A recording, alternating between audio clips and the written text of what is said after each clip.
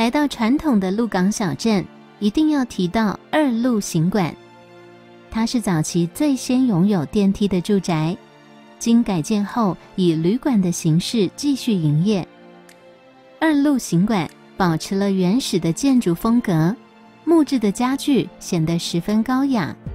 中国风、欧洲风、复古风的房间更是各具有特色，装潢充满着巧思惊喜。